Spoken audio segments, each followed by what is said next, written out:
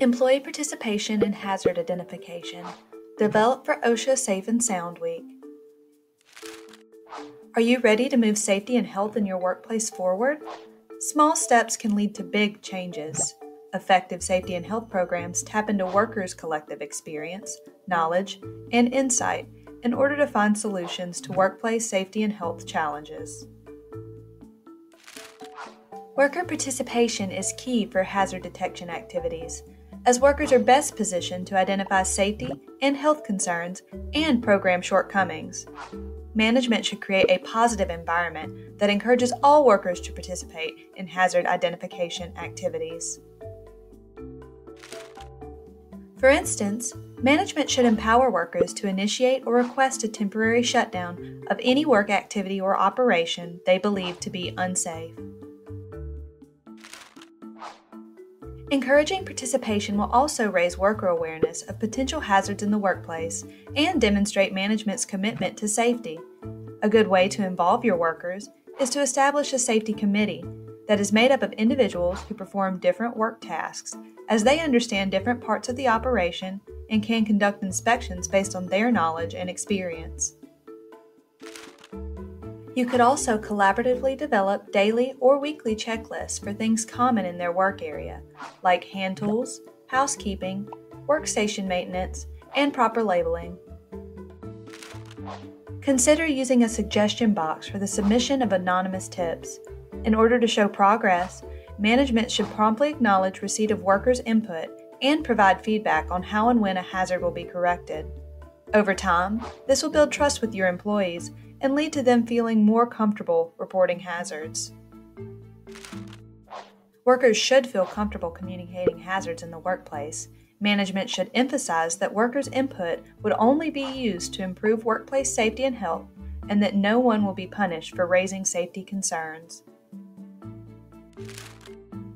Any potential barriers or obstacles to participation in the program, such as fear of retaliation, skill level, education, language, or lack of information should be removed.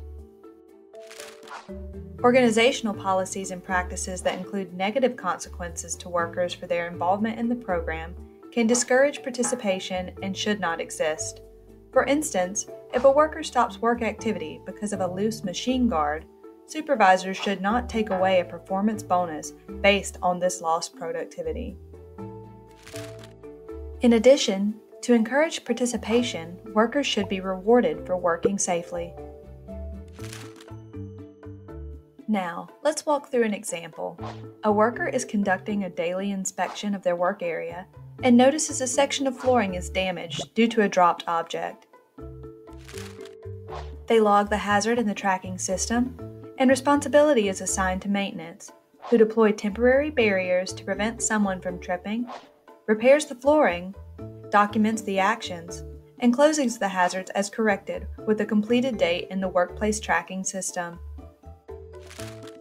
The safety committee then talks with workers in the area to find out how to improve work processes and controls to prevent dropped objects in the future. In addition, at the monthly safety meeting, the employee who notified the employer of the problem was given a Safe Employee of the Month award which is given monthly as an incentive to have employees report hazards. This example illustrates an effective use of worker participation, a hazard correction tracking procedure, and hazard control surveillance. Workers' participation in hazard identification activities will promote the proactive recognition of hazards before they result in an injury or illness. Check to see if workers are actively participating in hazard detection activities in your workplace by asking managers, supervisors, or workers to identify who conducts inspections.